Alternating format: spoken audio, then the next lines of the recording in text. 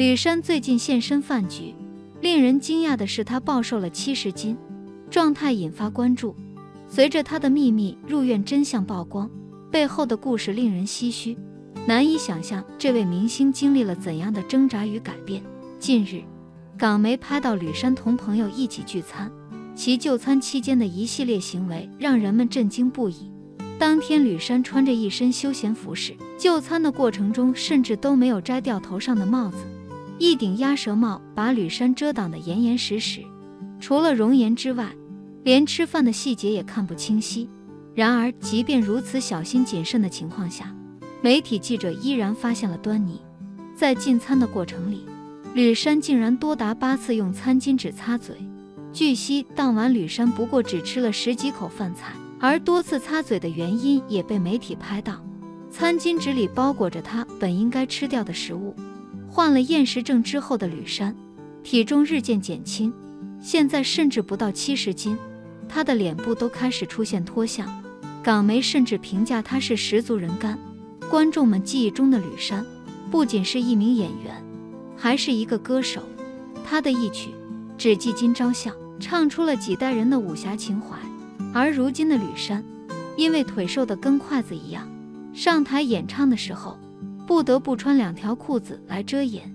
除了厌食症以外，因为工作压力和疾病的困扰，吕珊还出现了大量脱发的症状。记忆里那一头浓密的长发，如今只能用假发来代替了。吕珊的父亲吕勇从事电影幕后工作和报章杂志编辑，这让吕珊很早就已经接触了演艺工作。当童星、拍电影的吕珊，从八岁的时候就已经开始登台唱歌。在那个年纪，吕珊认为演艺圈是个好玩的地方，因为拍戏不用睡觉，可以看到片场的人来人往以及演戏，是一件让人兴奋的事情。做过模特、跳舞等职业的吕珊，之后专心唱歌。唱歌的经历也是让吕珊非常难忘的。在酒廊里有过许多刀光剑影的场景。但这些经历都让吕珊变得更大胆，也因为吕珊的唱功了得，他拥有了许多粉丝。为了答谢粉丝，他远赴多地工作，繁忙程度甚至导致自己的身体出现问题，要找医生打针才能继续开口唱歌。可吕珊并不觉得这些工作会让自己变得辛苦，反而认为这是一种乐趣。谈及梅艳芳，吕珊直言，七十年代就已经认识梅艳芳。两人识于微时，吕珊更是在采访表示，梅艳芳很值得拥有这样的名与利，她是个有情义的人。那么，吕珊和梅艳芳是如何认识的呢？他们又曾经历过哪些事？由于吕珊和梅艳芳都在演艺圈工作，两人一起合作唱过歌，所以认识。但两人见面谈话更多的，基本上都是以工作为主。在那时。刚好新秀歌唱大赛第一届即将举行，选择去报名的梅艳芳第一时间询问吕珊是否有想要参赛的念头。可当时的吕珊工作繁多，自己还有很多职业的地方要去进行，于是梅艳芳去参选报名试音，最终成功入围并夺奖。而她也第一时间致电吕珊，告诉对方自己的好消息。由于工作不同。两人也变得比较少联络。参加过很多歌唱工作，学会唱很多歌的吕珊，拥有丰富的舞台经验。此后，在同事的鼓励下，吕珊也选择参加新秀大赛。不料唱到一半就被淘汰落选了。她对自己产生了怀疑，怀疑自己是不是唱得很不好。她开始反思，开始听别人唱歌，也因此学到了许多东西。也是经历了这段学习经历后。让吕珊明白到一个道理：坚持，想到办法，所有事情都能够迎刃而解，踏入追逐梦想的道路。渐进人生百态的吕珊，遇上投契的梅艳芳。吕珊直言梅艳芳平易近人，觉得她很好聊天。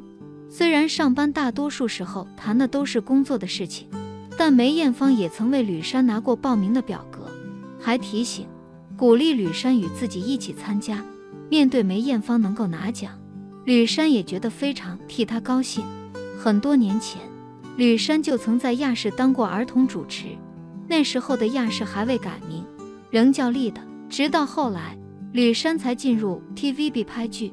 一开始接拍的剧集便是《驼枪师姐二》，那时候的吕珊年龄还没有到演妈妈的地步，但在剧中的设定，她是有两个孩子的母亲，孩子的年纪大约在七八岁左右。监制询问吕珊是否能够接受这部剧集的演出，虽然是妈妈角色，但吕珊却觉得能够接受，并认为这只是拍剧，剧情需要而已。没有太多拍剧经验的吕珊，更想要去尝试，去了解这方面的知识与情况，在拍剧中学习，享受演戏所带来的乐趣。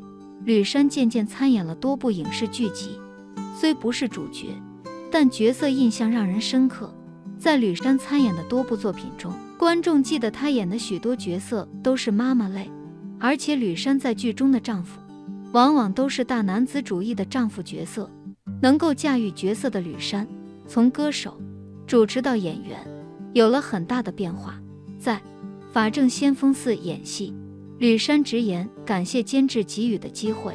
在 TVB 拍戏超过七十部的她，演过妈妈。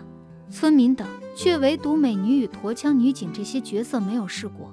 退休这个词对于吕珊来说，她根本没有想过。吕珊甚至认为自己是天生要做这一行的，有人支持、帮助，在辛苦之后便会觉得很充实、很开心。在戏内唱歌多次的吕珊，若是要面对唱歌和成为出色的演员这两个选择时，吕珊毫不犹豫选择后者。对她来讲，演戏已经成为他生命中不可缺少的一部分。不过，在他多年发展的路途中，一个男人与他之间流言四起。这个男人就是吕琦。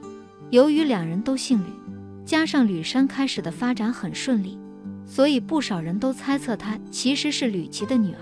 而事实的真相是怎样的呢？其实吕琦是他的一位叔伯，虽说不是父亲，但是在吕珊发展的过程中。也助力不少，算是他的一个贵人和很尊敬的长辈。从这些经历中，我们也可以看出，吕山小小年纪不仅要工作，还要在人际关系之间周旋。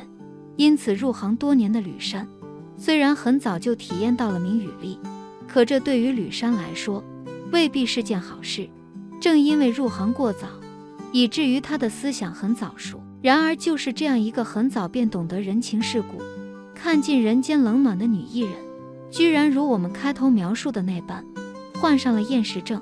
吃饭对于别人来说十分容易的事，但是在她那里却成了折磨。时至今日，吕珊没有后悔入圈，她最怀念的时光是在酒吧卖唱的日子。看到吕珊在娱乐圈打滚多年，始终没有成家，不少人开始好奇吕珊这几十年存了多少积蓄。外界曾经有人传言。五十六岁的吕珊至今已有五层楼。对于寸土寸金的香港来说，能够有这样的物业，可以说是非常可观的财富。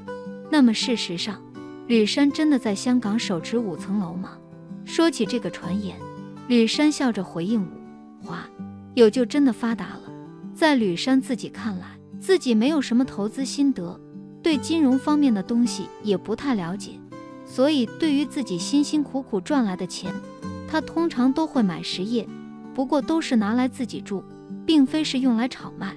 在问到有多少层楼时，吕珊表示有多少家人就多少层，不是什么豪宅，每层九千万，中上家庭。在很多人的印象中，吕珊是一个兢兢业业的演员。不过事实上，除了在演戏上的出色，吕珊在歌舞方面也非常优秀。不仅在2003年就发行了专辑《挚爱十二年》，还在香港红馆举行过个人演唱会，个人能力可以说是相当出众。虽然收获了事业和财富，不过在感情方面，吕珊对此并没有什么期待。虽然曾经有过绯闻，不过吕珊表示自己对婚姻从没期望过，很享受和朋友一起聊天、吃饭的感觉，从来不会觉得孤独。如今。五十六岁的吕珊仍然在做自己喜欢的工作，也在为自己的粤语舞台剧做筹备工作。看到她一生精彩，没有牵挂，很多粉丝都觉得她活得自在、潇洒，也希望她能一直幸福快乐的生活下去。每个人对人生的理解都不一样。虽然很早就踏入娱乐圈，不过吕珊从来就没有去追求过名利，一直在做自己喜欢和擅长的事。这样敬业的精神以及人生态度，值得我们去思考和学习。不知道大家看完以后有什么想说的呢？